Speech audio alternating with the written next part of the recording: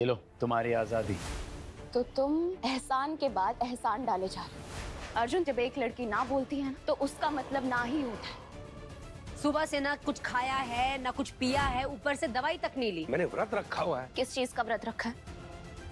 इसका व्रत कि मेरी बेटी मान जाए इस शादी के जोड़े को दोबारा पहनने के लिए फिर मैं सब कुछ खाऊँगा।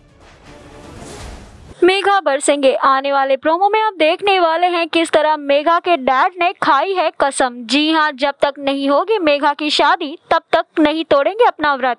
तो वहीं अर्जुन भी मेघा को एक के बाद एक एहसास दिलाया जा रहा है। आखिर क्या होगा मेघा और अर्जुन के बीच? और क्या मेघा मान जाएगी? जानिए आगे की इस कहानी को टेली चकर पर। Do share your thoughts in comment section hit the bell icon